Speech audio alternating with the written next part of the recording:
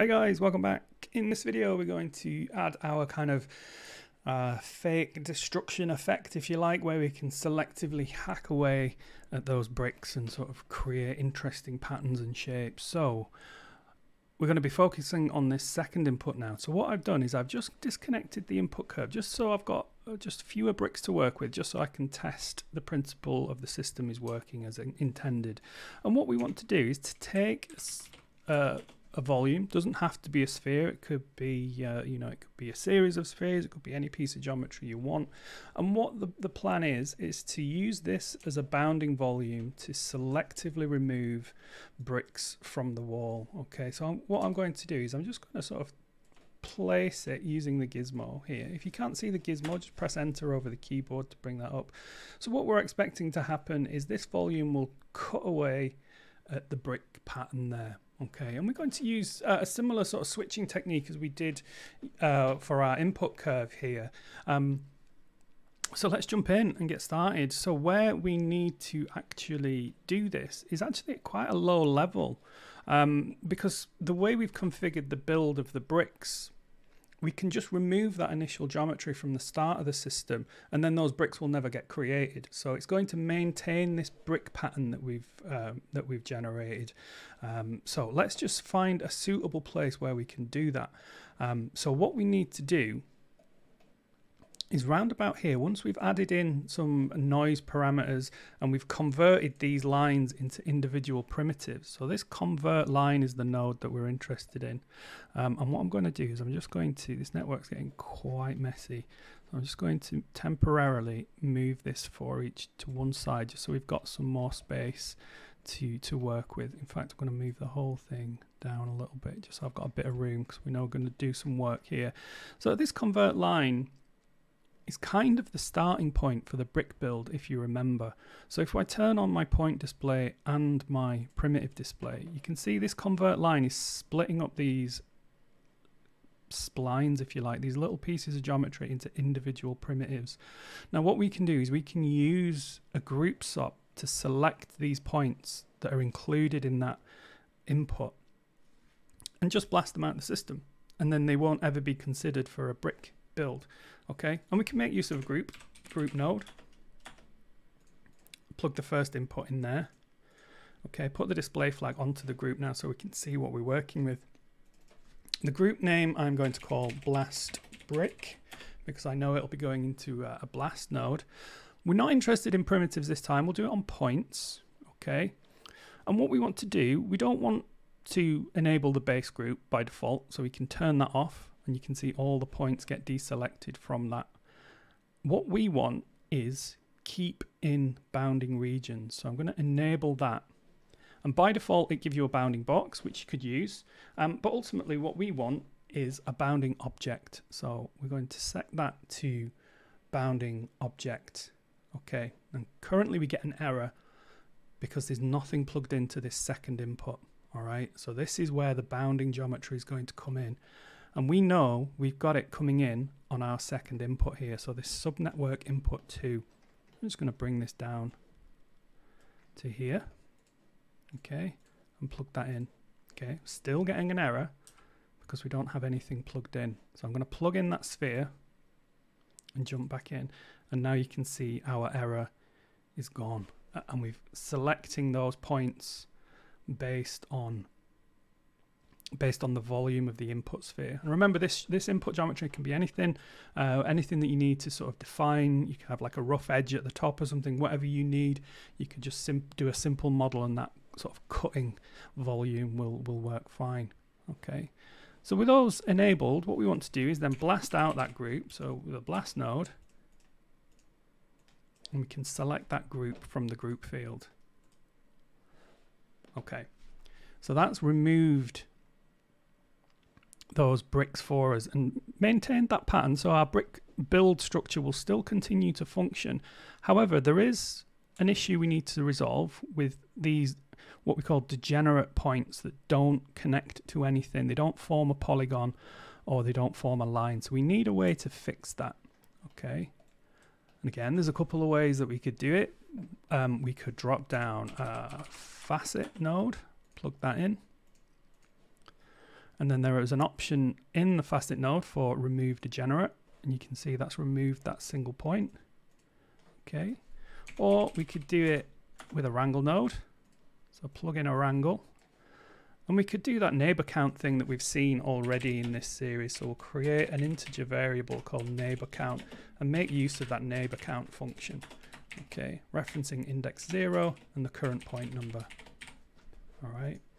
And then we can say if n count is equal to zero, as in it doesn't have anything connected to it, you know, it's degenerate, it's out there on its own, then we can simply remove that point using the remove point function from index zero and the current point number that we're processing. All right, cool. Exactly the same effect, you know. And if you middle click on the uh, the node of the wrangle there, you can see that last cook took 0.2, 0.02 of a millisecond. Okay, so pretty rapid Houdini works through this stuff. Uh, if we middle click on the facet node, you can see that took 0.6. So it's, you know, considerably slower, especially if we're processing, you know, thousands and thousands and thousands of points. Um, you know, you might see a slight increase in um, in speed of the cooks. And you know, this might seem trivial at this stage, but as your as your networks get more complex and continue to grow, and you're asking Houdini to do more stuff, it's these little kind of um, time saving things that can really help speed up your work. You know, um, so that's why I like Wrangle nodes because you do see a very very um, noticeable increase in in the cooking times and, and the speed of your networks.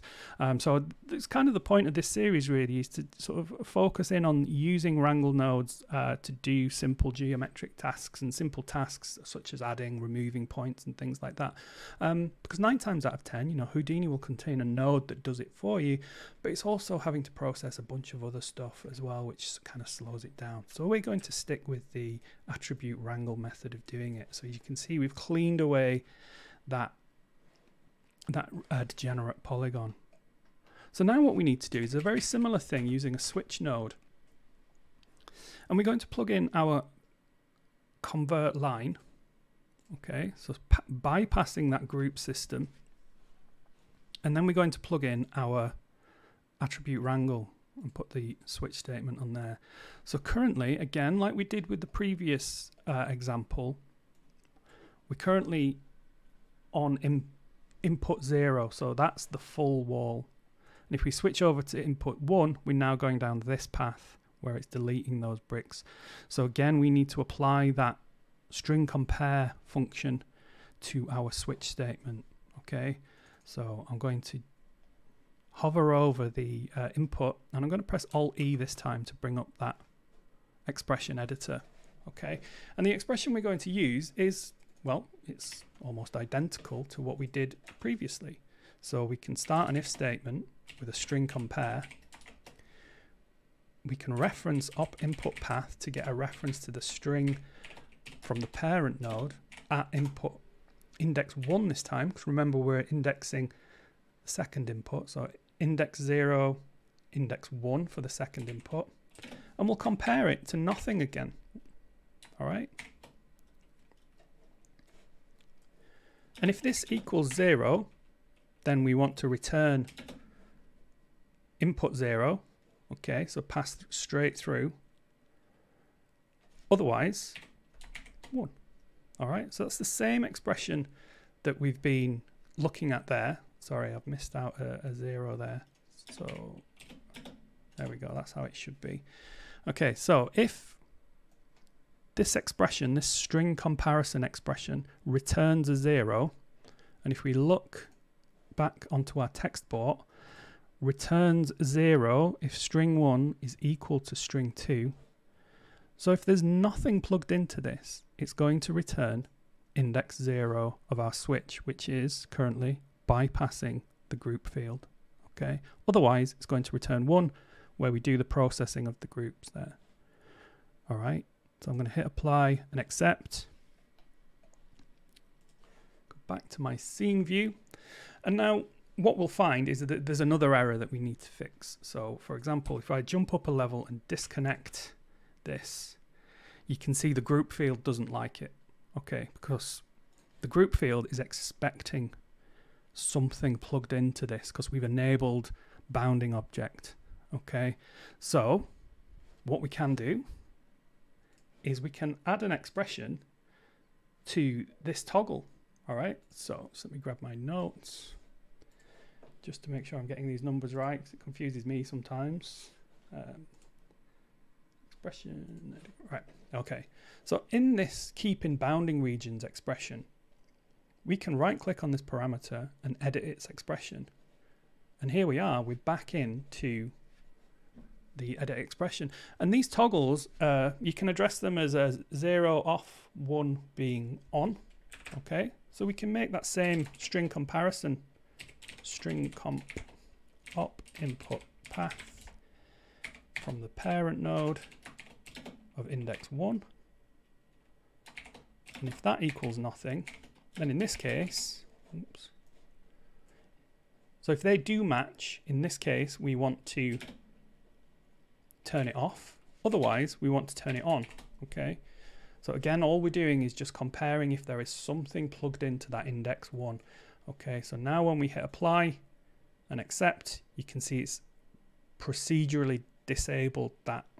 Okay, so now we can plug the output of our switch node into the input of the for each node below it.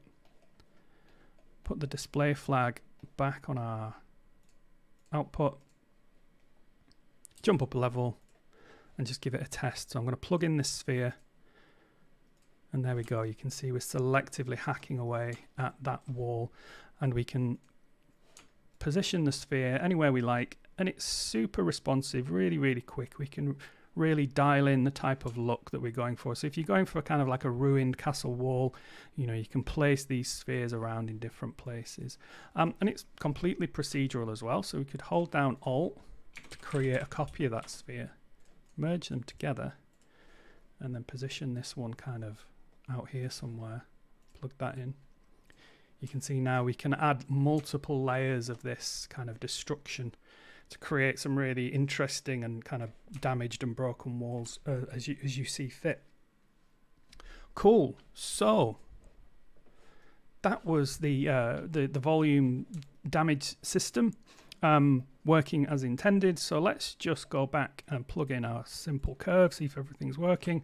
And there you go. You can see the effect a bit more clearly there. We've got uh, a nice sort of procedural way of very quickly creating some interesting damaged uh, structure to those walls in a very, very quick and procedural way. All right, cool. So that effectively um, brings us all the way back round to video one where we looked at the tool. So if you've managed to make it this far, uh, thank you very much. Please let me know in the comments how you found it. Um, I really enjoy doing these tutorials. So if you've got any any comments of ways I can improve or any any um, series that you'd like, that'd be super cool. I'm, I'm more than happy to sort of uh, share my Houdini knowledge with you guys. Let me know in the comments, like and subscribe. Um, and if you know if this was particularly useful to you, please check out my Ko-fi. Um, I'm a big fan of a double espresso, uh, so if you if you're feeling in a generous mood, please uh, check out my Ko-fi and uh, and make a donation there. That'd be very very kind and we'll be certainly much appreciated. Um, I think what we'll do as a little appendix to this video series we'll look at ways we can use this tool to bake out uh, something that's more game ready. Because uh, at the moment, this is obviously, let's have a look, we're looking at quite a lot of, uh, of triangles in its in its high definition state, um, but this could be the basis of um, building, you know, an infinite range of brick wall trim sheets, for example, for use in a game engine. Um, so perhaps we'll take a look at that at a later date. Uh, and also how could we take this output and generate a low polygon representation of it and sort of take a look at some of the challenges that that would involve. Um, so yeah, stick around for that. Like and subscribe. Thank you very much for watching. Like I said, if you've made it this far, um, please share the results. I'd love to see this uh, in use. If you manage to use it in a shot or in production, that would be absolutely amazing. I would love that. So please keep in touch and uh, hopefully I will see you in the next video. Thanks.